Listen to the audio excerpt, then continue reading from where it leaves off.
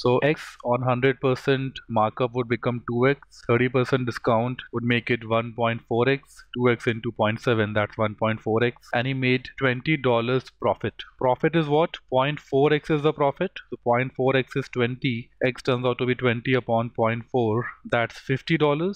So his investment was $50. x is what? x is 50.